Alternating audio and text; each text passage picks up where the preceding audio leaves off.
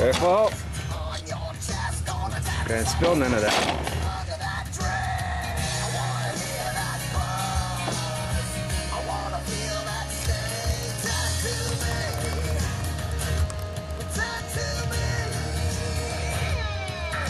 Couple strong drinks there, I'll tell you.